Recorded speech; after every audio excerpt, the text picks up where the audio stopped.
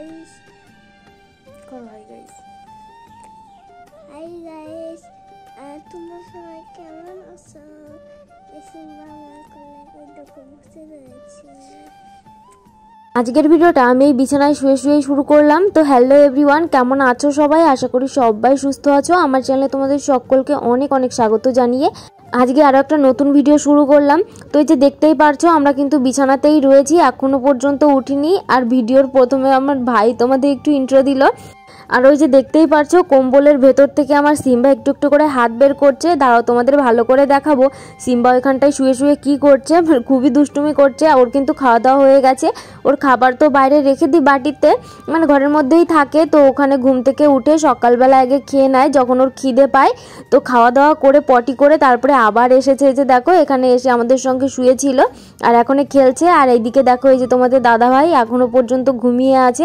আমি সকালবেলায় উঠে জল রাখলাম তারপরে বাইরে ঠাইরে গেলাম। তো এখনও পর্যন্ত ওঠেনি আর এসে আমি মানে শুয়েছিলাম এর মধ্যে। শুয়ে তো না, বসেছিলাম। প্রচণ্ড ঠান্ডা পড়েছে আজকে বাইরে।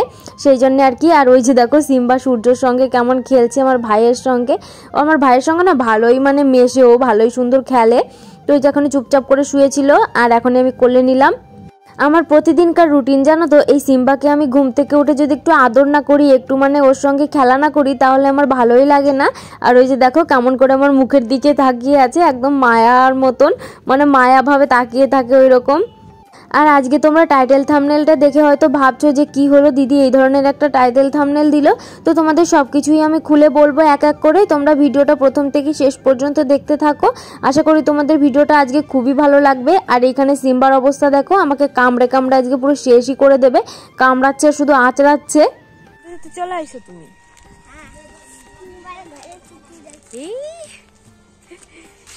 আমরা এসেছি নোংরা কাচরা ফেলাতে কাচরা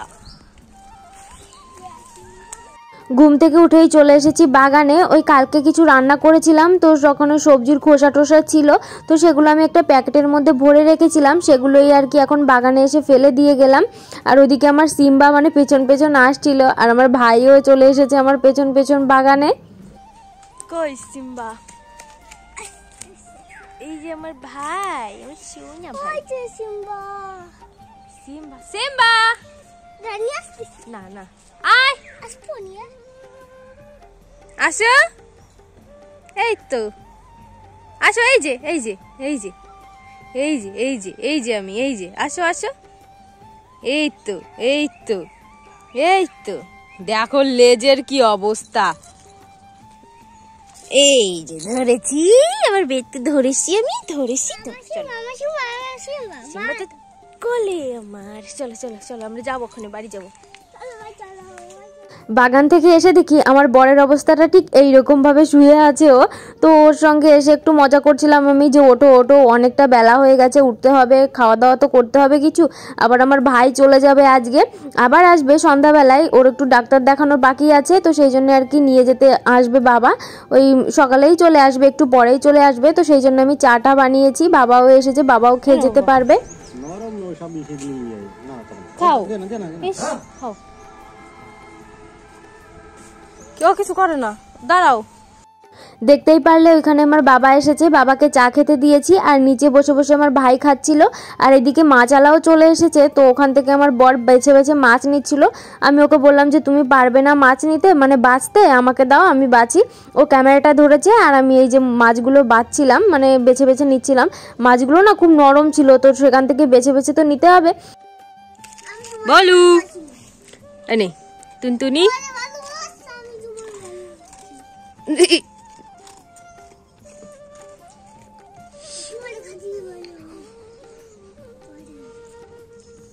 ভলু ভলু ভলু ভলু। ভালো বিশাল।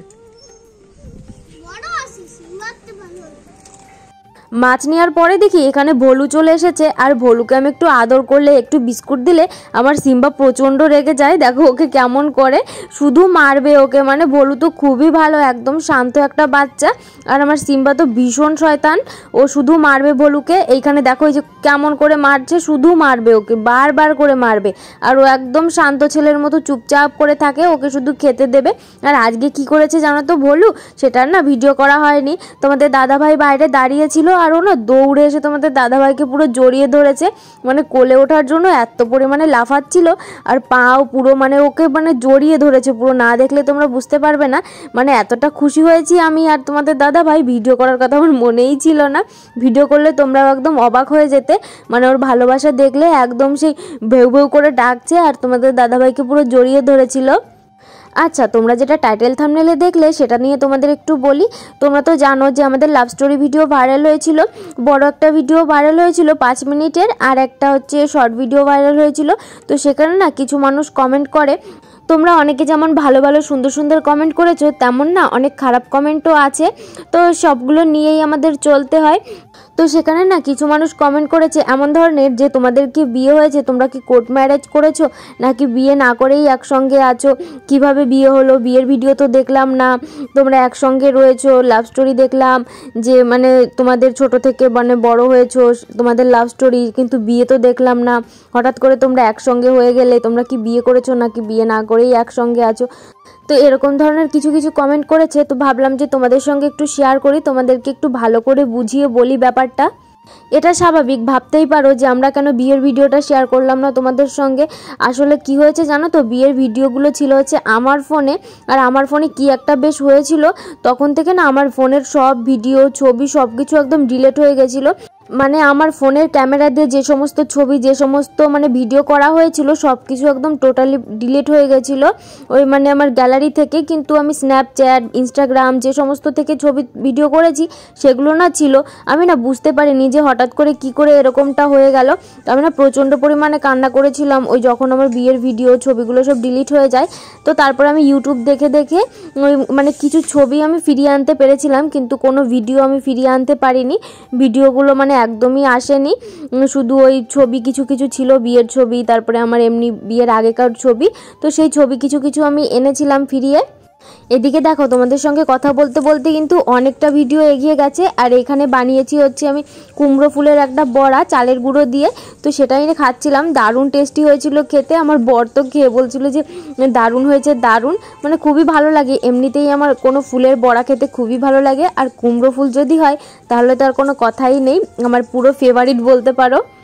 আচ্ছা বলি শোনো, আমাদের বিয়ে হয়েছে, আমরা বিয়ে না করে একসঙ্গে নেই। আমাদের বিয়ে হয়েছিল কৃষ্ণনগর একটা কালী মন্দিরে। তো আমরা ভাবছি যে আমাদের এবার অ্যানিভার্সারিতে যাব সেইখানে, তোমাদের দেখাবো কোন মন্দিরে আমাদের বিয়ে হয়েছিল। আর আমাদের বিয়ে কিন্তু একটা পুরোহিত দিয়েই হয়েছিল, মান- মানে মন্দিরের যে পুরোহিত থাকে, তো তাকে দিয়েই আমাদের বিয়েটা হয়েছিল মন্ত্র পড়ে। তো তোমরা প্লিজ কেউ উল্টোপাল্টা কমেন্ট করো না যে আমরা বিয়ে না করে একসঙ্গে আছি, বিয়ে না করে কেউ একসঙ্গে থাকে। আর যেহেতু এটা গ্রামের বাড়ি, সেখানে তো একদমই অসম্ভব ব্যাপার। তো আমাদের বিয়ে হয়েছে প্লিজ তোমরা কেউ উল্টোপাল্টা কমেন্ট করো না। আশা করি তোমরা পুরো ব্যাপারটা বুঝতে পেরেছ, আমি ক্লিয়ার করতে পারলাম তোমাদের। আর এই যে দেখো, সন্ধ্যাবেলা চলে এসেছি, আমার ভাই আবার চলে এসেছে, দেখতেই পারছ।